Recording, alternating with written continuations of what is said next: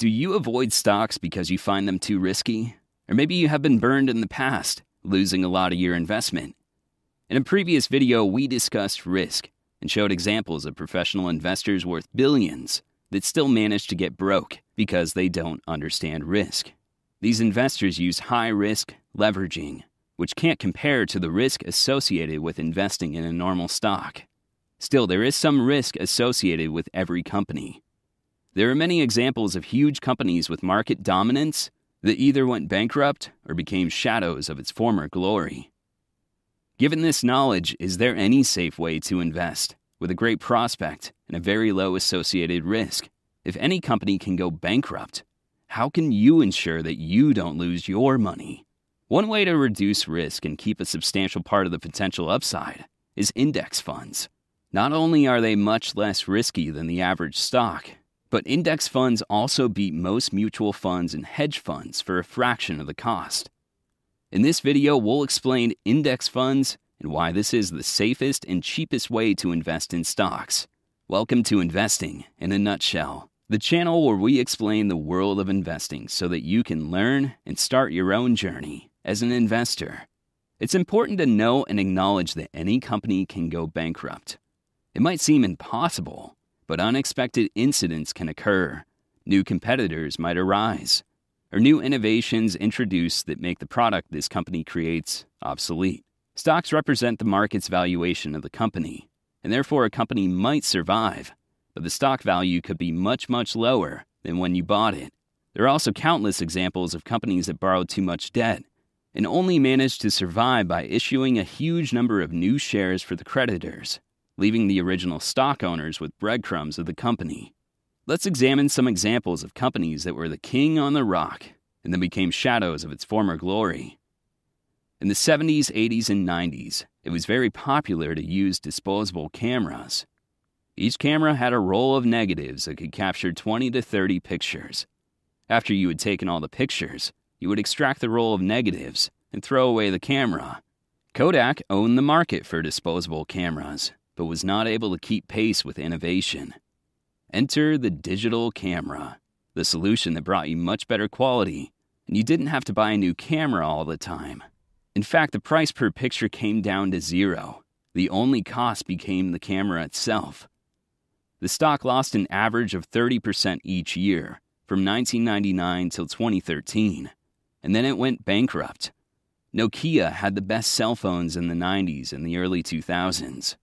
Everyone I knew owned a Nokia. In 2007, they still had a 50% global market share in cell phones after dominating the market for 10 years. How could anyone beat Nokia? Enter the iPhone. And as they say, the rest is history. The stock is still today down more than 90% from its peak in the early 2000s. In the 50s and 60s, IBM was the undisputed king of computers.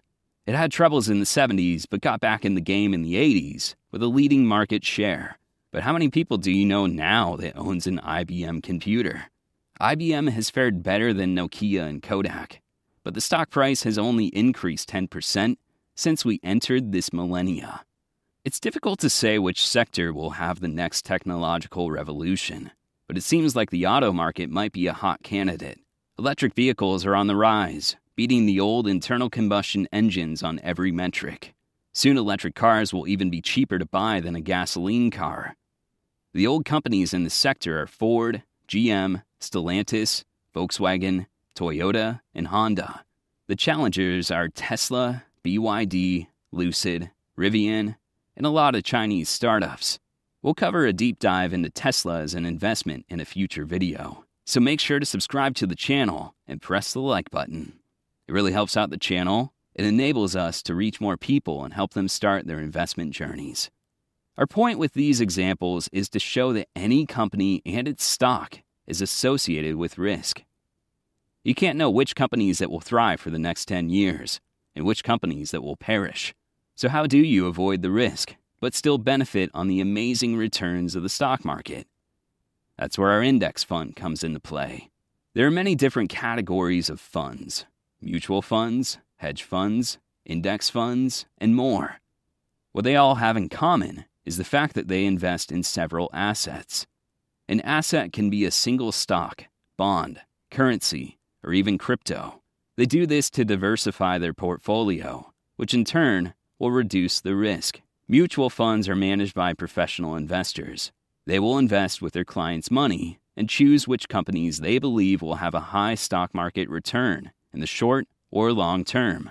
Mutual funds can usually pick stocks from many different market indexes and create a mix between technology stocks from NASDAQ, a couple of giants from the Dow Jones Industrial Average, and a bunch of small companies from the Russell 2000.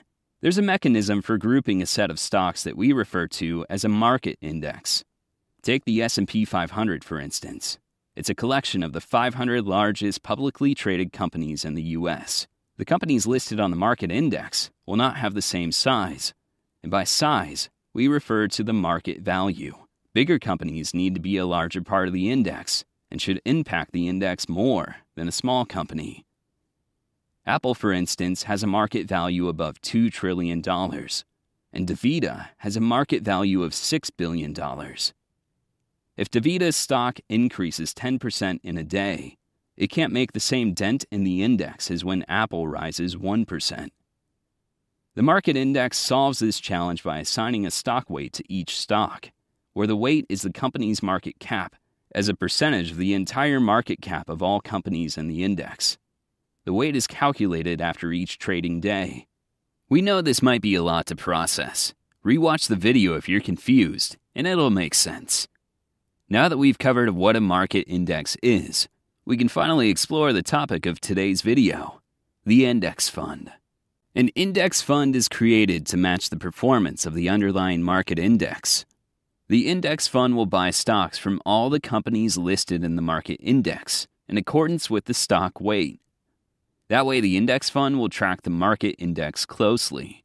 If someone were to create an index following the S&P 500 now with $1 million as starting capital, it would need to buy $65,000 of Apple stock, $55,000 in Microsoft stock, and follow the weight of each stock down the entire list. It's easy to think that an index fund must perform loads of trades every day, since it is supposed to keep up with the weight of all stocks based on the index but that's not the case. Imagine that an index fund has bought all companies according to the stock's weight in the index. A new trading day passes, and some stocks go up and some stocks go down. At the end of the day, new weights are assigned. The weights will be different than the day before, but the index does not need to perform any trades because their stocks in each company had the same performance as the market, and they had the same distribution of stocks as the market index. An index fund will only need to make trades in four scenarios. When new investors want to invest in the index, increasing the total value of the index fund. When existing investors pull money out of the index, decreasing the total value of the index fund. When companies pay dividends, resulting in fresh money for the index fund that must be invested. If new companies are added or existing companies are removed from the index, Luckily, this will only happen a few times a year at the same time as the changes made in the market index.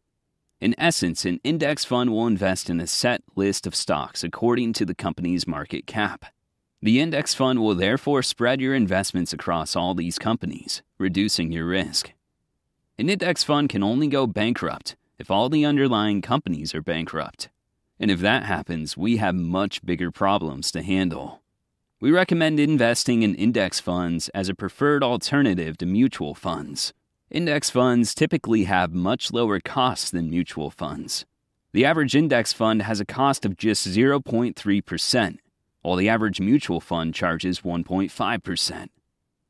This can make a huge difference over the long term, since the average historical return in the stock market is about 10% a year. To prove our point, Warren Buffett made a million dollar bet back in 2008. He bet that nobody could pick a mutual fund that would outperform a low-cost S&P 500 index fund over the next 10 years. Only one person took the bet, putting together a hedge fund consisting of 5 mutual funds. In those 10 years, we had a global financial crisis. Banks and companies went bankrupt, and the housing market almost collapsed. Surely the mutual funds could beat a passive index fund in this time period. The index fund managed to get 85% return in the 10 years, beating every single one of the mutual funds. The best mutual fund managed to grow 63%, and the worst increased a mere 3% in 10 years. The average result of the hedge fund consisting of the five mutual funds only increased 22%. The index did not only beat the mutual funds, but it also smashed it. Index funds have a great track record, have low fees, and they're easy to find and invest in. There's an index fund for most investment styles in the stock market. If you want to track the S&P 500, there's an index named SPY. If you prefer the technology sector, then check out QQQ. Maybe you want to invest in small cap companies, then IJR could be an option for you.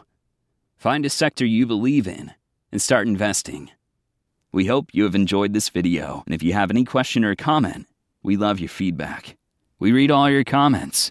Have a great day, and good luck on your own investment journey.